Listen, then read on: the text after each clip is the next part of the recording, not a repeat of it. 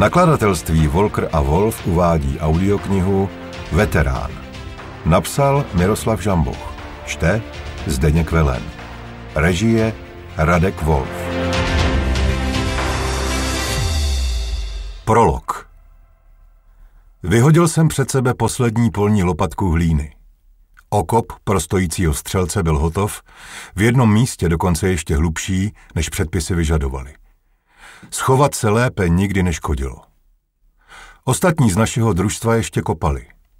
Buď jsem pracoval s větším nasazením, nebo jsem měl prostě štěstí na lepší zeminu. Půda byla sypká, na omak úrodná, jen by potřebovala trochu zavlažit. Otřel jsem si tvář, nasadil helmu a opatrně, velmi opatrně vykoukl ven. Abych získal výhled vpřed, musel jsem rozhrabat navršenou hlínu před zákopem. Krajina vypadala míru milovně. Trávou a občasnými keři porostlá rovina, zvedající se pár kilometrů daleko nalevo i napravo do nevysokých hřebenů. Ty prý byly také osázeny našimi silami. Odhadoval jsem, že i dělostřelectvem.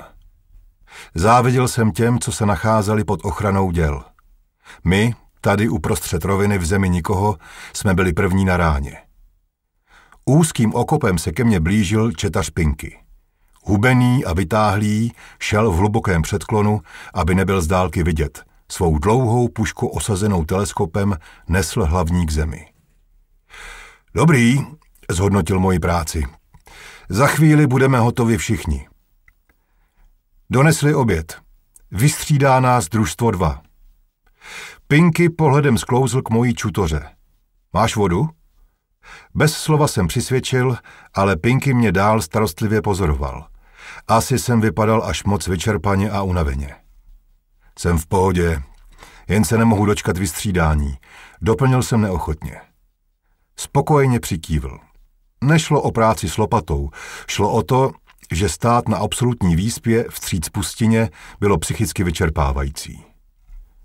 Už jen ustoupit o pár metrů od naší první obrané linie přinášelo duševní úlevu. Možná to platilo jen pro mě a ostatní to tak necítili. Za týdny a měsíce společně strávené na frontě jsme se jeden druhému svěřili snad se vším, ale o tom, jak působí divoké země na každého z nás, jsme nemluvili nikdy. Pinky pokračoval v obcházení dalších chlapů a já se opět otočil směrem k volné krajině před námi, k pustině. Lopatku jsem položil do kypré hlíny a přiložil k očím dalekohled. Nenacházel jsem nic podivného, ale přesto tam něco muselo být. Jinak to nebylo možné. Mezi dvěma keři zhruba kilometr daleko jsem objevil útvar, který připomínal trosky staré zdi. Domu? To mě Bůh ví proč znepokojovalo nejvíc. Opravdu tady kdysi žili lidé? Podle toho, co jsem si pamatoval z hodin dějepisu, ano. Z pozorování mě vyrušilo tiché pískání. Schoval jsem dalekohled a kývl na Martio. Přišel obsadit vedlejší palpost s bezstarostností a spokojeností, kterou jsem mu záviděl. Já bych se na jeho místě kryl, i když žádní nepřátelé nebyli v dohledu. Ale já jsem prostě pan opatrný, jak mi občas říkali. Teď je to na nás, užij si gáblík a oddych, zašklebil se na mě Marty. Taky jste to mohli udělat trochu širší. Můžeš pokračovat, doporučil jsem mu a protáhl se kolem něj. Marty šel na lehko. Já jsem si i zpět táhl svou plnou výbavu.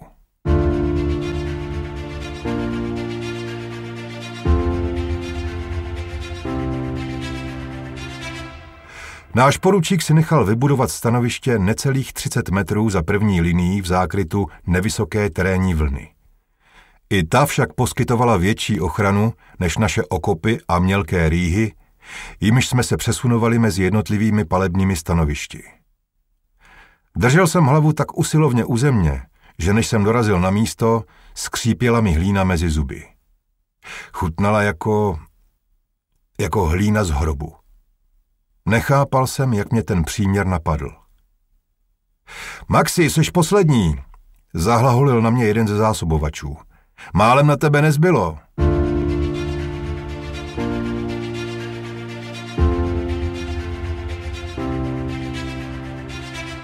Ostatní chlapy našeho družstva už byli po jídle a klímali v nejpohodlnějších polohách, které dokázali v našem provizorním ležení zaujmout. Jen Bragi, můj spolužák ze školy, se probíral otrhaným cárem novin, které sebral Bůh ví kde. Největší titulek hlásal, že tragédie zničila rod Mannerheimů. Dědic titulu zavraždil snoubenku svého bratra a ten, uveden v omyl, pak ze šílenství a pomsty svého otce. Měl jsem pocit, že o podobné divadelní slátanině jsem už slyšel. Nahlédl jsem Bragimu přes rameno. Noviny byly z minulého roku. On vždycky věděl, jak plítvat časem co nejdokonalej. Číst rok staré noviny. Vyhákl jsem z batohu ešus, vyfoukl z něj hlínu a dostal štědrou porci menáže. Možná trochu připálenou, ale to vůbec nevadilo. Poručík už byl po jídle. Seděl s plecháčem kávy v ruce a zíral do mapy. Nevypadal přitom ani trochu šťastně. Stejně tak ani náš nedávno přidělený doprovod Ruzdom. Na své uniformě neměl žádné hodnostní označení, ale to nebylo důležité. Stačilo se na něj podívat a všem bylo jasné, že je čaroděj. Vojenský čaroděj. Obvykle operovali minimálně na úrovni praporu a ne čety. Ruzdom také nevypadal šťastně z toho, že tu je. Nedivil jsem se mu. Nedávalo mi smysl obsadit nechráněnou pozici slabou pěchotní jednotkou. Vyškrábal jsem Ešus do posledního zbytku, že jsem ho ani nemusel umývat, a pak ze zvyku začal kontrolovat a čistit samopal. Byla to lacině vyrobená zbraň, při střelbě kopala a dlouhou dávkou nešlo prakticky mířit. Chtěl jsem ale, aby fungovala, když to budu potřebovat. Jsi nervózní? Vyrušil mě z práce Parker. Parker byl náš pozorovatel. V civilu jsem se s někým takovým nikdy nepotkal. Ne čaroděj, ale vnímavější na přítomnost magie než sami čarodějové. Všiml jsem si, že i Ruzdom s ním občas něco konzultuje a co bylo ještě zajímavější. Čaroděj občas skrytě Parkera pozoroval, jak se tváří a chová. Možná čarodějové o chování a vnímání lidí, jako byl Parker, věděli víc, než prozrazovali. Ne, že by mě to překvapovalo.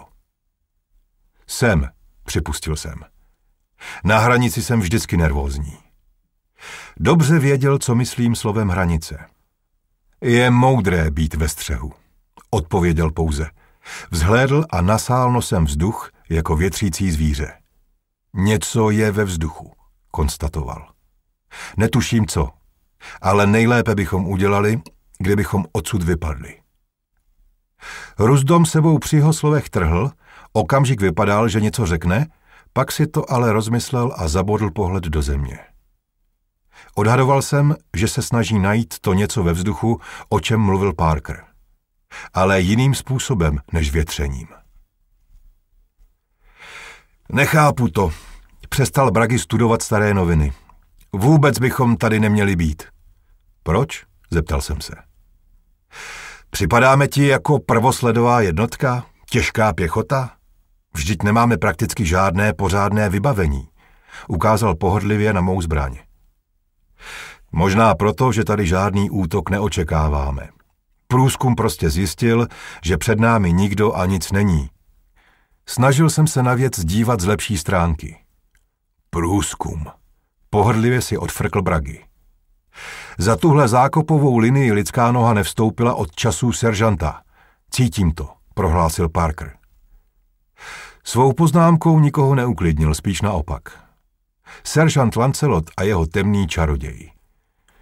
Každý znal tuhle historickou dvojici, okolo které v průběhu dvou století vzniklo tolik legend, až se nedali odlišit od skutečnosti.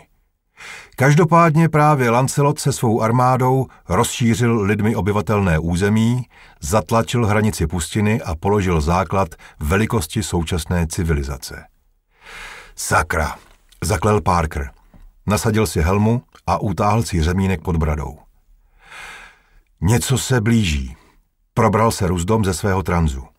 Na místa! Všichni na svá místa, velel poručík. Plná pohotovost. Nemusel to opakovat. Okamžitě jsme byli všichni na nohou. Vklouzl jsem do svého okopu a dopředu se opět díval jen prohlubní ve valu z navršené hlíny. Márty už stačil ztratit svou bezstarostnost a tiskl se do hlíny stejně jako já.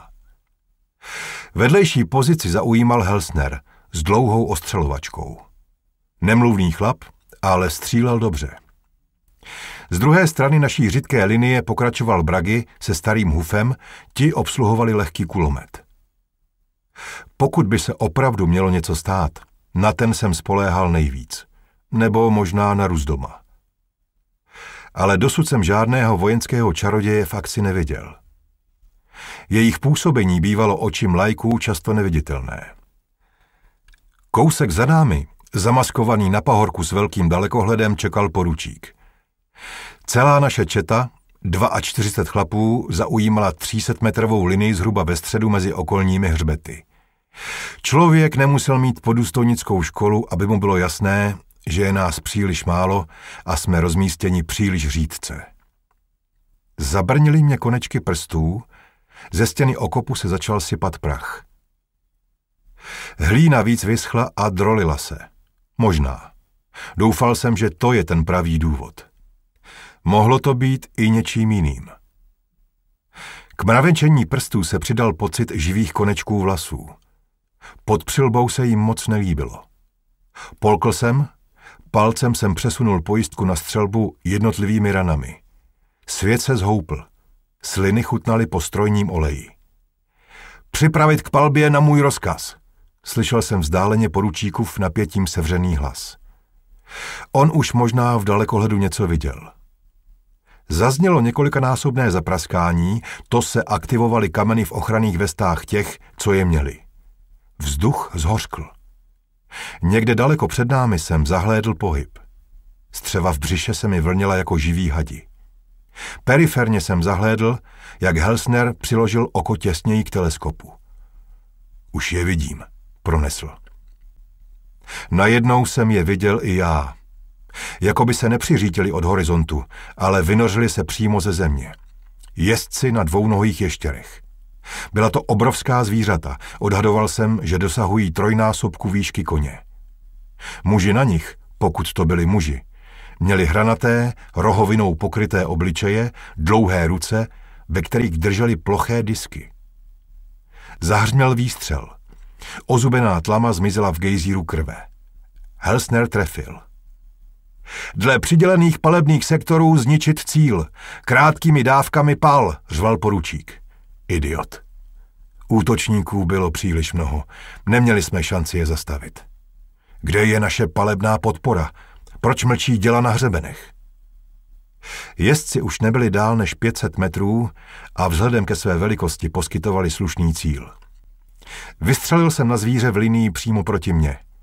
Trefil jsem je do hrudi. Dokonce jsem viděl, jak se jedna ze šupin kryjících povrch těla roztříštila, ale ještěr běžel dál. Další pokus. Bragi, Bragi, vykašlete se na poručíka a puste se do toho pořádně, běželo mi hlavou. Bojoval jsem s touhou přepnout přepínač palby na dávku a stále sázel jednotlivé výstřely. Konečně zazněl rachotivý kašel našeho kulometu. V linii útočníků vznikla krvavá mezera. Nikdo nezaváhal, naše výstřely třaskaly v nepravidelných intervalech a vybírali si v nepřátelské útočné vlně svou daň. Pokud nás chtěli jen překvapit rychlostí a převálcovat nás, spletli se, odrazíme je. Poručík nebyl idiot. Se štěstím se místo zvířete trefil jeho jezdce a ten spadl ze sedla. 300 metrů. Ještěří jezdec na kraji mého zorného pole se vyklonil ze sedla, švihl svou nepřirozeně dlouhou paží a vymrštil tmavý disk směrem k nám. To byla vzdálenost na minomet a ne navrh granátem. Disk v ploché křivce dopadl na zem, odrazil se od ní a s navýšenou rychlostí pokračoval v povlovném oblouku směrem k nám. Další odraz, další zrychlení. Do prdele. Najednou bylo ve vzduchu příliš mnoho disků. Ještě jednou jsem vystřelil a minul. V dalším okamžiku jsem se skrčil do zákupu. Exploze kousek za mnou a nade mnou. Stěna okopu se částečně sesunula a zasypala mě. Další exploze. Cítil jsem, jak střepiny cupují okolní prostor. Slyšel jsem jen sporadické výstřely, kulomet se odmlčel. Druhý, vzdálenější také. Takhle nás převálcují. Vzepřel jsem se nohama, podařilo se mi zbavit se hlíny na zádech a vykulit se ven z napůl zasypaného okopu do kráteru po explozi. Nejbližší jezdci teď byli 100 metrů od nás. Ukazovákem jsem posunul ovladač režimu střelby o kousek zpět. Krátká dávka. Krátká dávka, jak nám to na střelnici vtloukali do hlavy. Dva ještěři se neochotně zhroutili k zemi. Jeden z jezdců se skočil, další místo toho vrhl disk a skončil v divokých kotoulech na zemi. Snažil jsem se disk sestřelit za letu, ale jen jsem plítval náboji. Prázdný zásobník. Disk letěl přímo na mě. Bez přemýšlení jsem uchopil automat za hlaveň a švihnutím pažbou ho zasáhl. Zbraň mi vyklouzla z ochromených prstů. Disk změnil směr letu a explodoval někde napravo za mnou. To už jsem ležel na zemi. Kameny a hlína ještě nepřestaly padat, po paměti jsem se plazil ke kulometu. Bez něho to nedáme. Starý Hufy, tedy spíš to, co z něj zbylo, ležel na zádech. Exploze ho přervala vejpůl. Bragi přišel jen o ruku. Okamžik jsem sledoval, jak se škrtidlo plazí po uniformě a neomylně nachází krvavý pahýl. Kulomet naštěstí vypadal v pořádku, nábojový pás založený. Jen jsem zbraň musel vytlačit kousek výš, abych měl volné střelecké pole. Minul mě další disk. Explodoval někde vzadu. Ochranné kameny zapraskaly, jak zbavovaly střepiny jejich kinetické energie. Přilba zazvonila pod několikanásobným zásahem. Bragi, nedostanou nás, nás nedostanou! Slyšel jsem se řvát a stiskl jsem spoušť. Jezdec už byl skoro na dosah. Dostal to do hrudi. Disk mu explodoval v ruce. Zubatá hlava ještě letící vzduchem mě minula jen těsně. Pálil jsem dál. Nás nedostanou! Zleva a zprava zazněla děla. Naše artilérie, konečně. Ale jezdci byli příliš blízko a výbušných disků ve vzduchu příliš mnoho.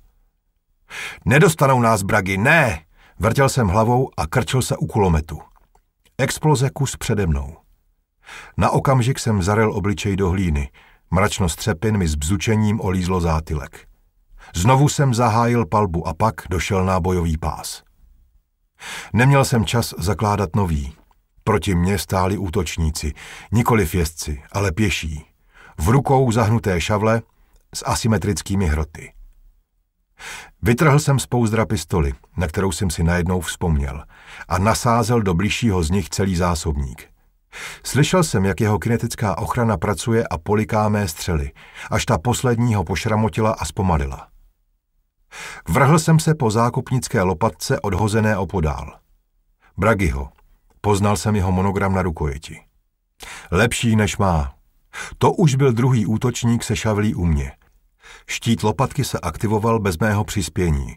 Čepel sklouzla po opaleskujícím oblouku. Skočil jsem po protivníkovi, ujela mi noha a oba jsme se zřítili do prohlubně po explozi. V chaosu kotoulů se přede mnou myhl jeho odkrytý krk. Tady žádné šupiny nebyly, jen šedivá zvrásněná kůže. Škubl jsem lopatkou před sebe, nalehl na ní, nabroušená hrana prošla tkání. Oslepil mě cákanec horké pálící krve. Znovu jsem se zvedl. Planinu okolo cupovaly zásahy dělových granátů. Protivník, kterého jsem před okamžikem střelil, nikde v dohledu. Jen několik disků odrážejících se od země, mířících mým směrem. Skočil jsem do okopu, přetáhl přes sebe Hufovo torzo a držel ho na sobě jako ochranu. Exploze. Záplava kamení a hlíny. Další exploze. Hufovo tělo bylo najednou pryč. Chyběla i moje ruka, kterou jsem je přidržoval. Mechanicky jsem sledoval pohybující se škrtidlo. Rána byla vysoko nad loktem, krev stále otékala, na takové poškození jedno nestačilo. Mám ještě jedno škrtidlo na druhém rameni, napadlo mě. Proč se neprobudilo i ono? Otočil jsem hlavu. Neměl jsem ani druhou ruku. Exploze.